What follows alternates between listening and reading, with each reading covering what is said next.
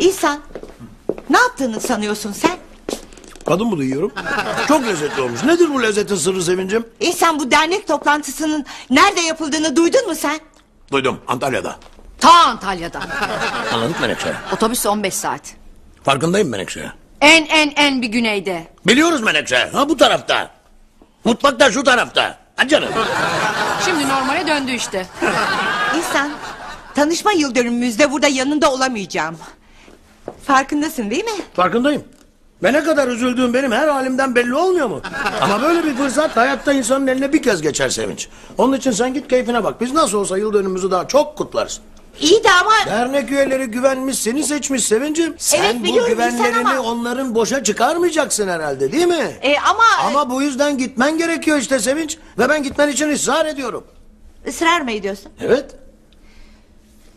Bana bak İhsan efendi. Çıkar bakalım şu ağzındaki baklayı. Hangi baklayı? Neden böyle bir zamanda Antalya'ya gitmeme kızmıyorsun? Ne yani kızmamı mı istiyorsun?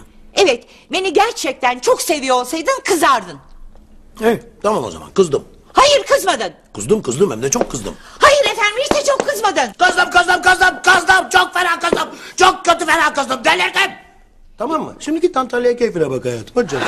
İhsan Antalya'ya gitmemi istemenin başka bir sebebi olmalı.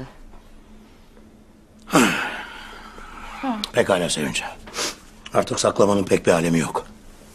Evet Antalya'ya gitmeni istememin başka bir sebebi var. Ve bu benim için çok önemli bir sebep. Hadi gerçeği itiraf et bakalım. Sevincim. Antalya'ya gitmeni istiyorum çünkü... Çünkü...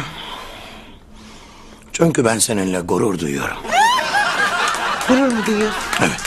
Onca insan arasından seçilmiş olman benim için büyük bir gurur ve büyük bir onur. Ee, evet e, bence de öyle ama... İşte ben de bu gururu ve onuru doya doya yaşamak istiyorum. Sen oradayken seni soranlara başım dik, alnım açık. Oh şimdi Antalya'da yüzlerce insanı temsil ediyor demek istiyorum. Lütfen bu gururu bana çok görme Sevinç. İhsan senden çok özür dilerim.